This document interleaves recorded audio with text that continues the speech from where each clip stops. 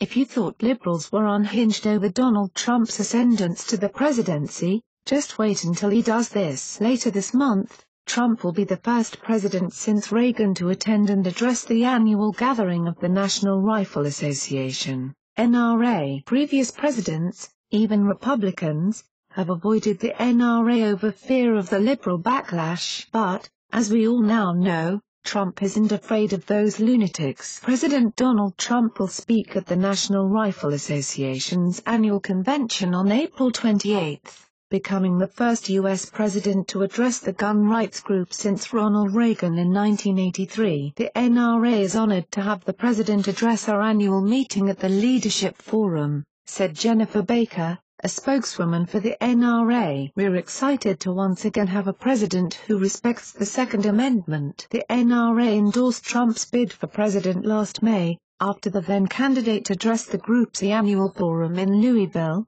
Kentucky. Trump pledged at the time to save our Second Amendment and appoint judges which would support expansive gun rights. Get ready for liberals' heads everywhere to start exploding. What do you think? Comment below and share. Scroll down to comment below. Conservative Post helped contribute to this report. It's News Exposed signing off.